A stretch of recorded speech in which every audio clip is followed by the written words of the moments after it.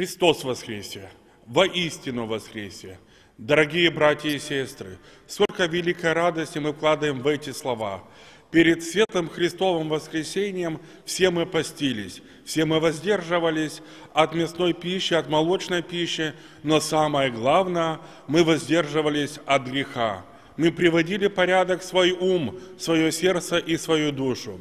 И вот настал светлый день праздника праздников, торжество из торжеств, Пасха Христова. В этот светлый, великий праздник, дорогие братья и сестры, дорогие жители нашего города и района и гости, я всем искренне желаю крепкой веры, Божьей помощи, чтобы воскресший Господь Иисус Христос укреплял наши духовные и телесные силы, чтобы был мир в нашей с вами жизни, в нашем сердце и в наших помыслах.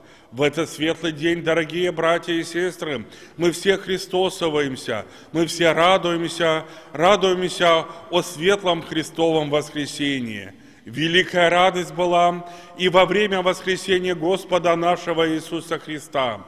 Ликовали апостолы, ликовали жены мироносицы, ликовали все люди Господа Иисуса Христа так и мы с вами, дорогие братья и сестры, будем всегда взирать на светлое Христово воскресение, этим жить, этим творить добрые дела и свидетельствовать о том, что мы верующие, православные христиане, будем жить по совести, по заповедям Божьим, соблюдать заповеди Божьи и верить в Господа нашего Иисуса Христа.